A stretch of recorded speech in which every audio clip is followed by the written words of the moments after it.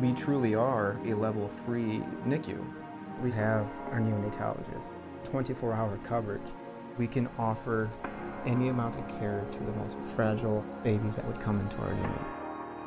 We work as hard as we can every shift that we have, every person that comes in, for the end goal that we get to walk them out as a family.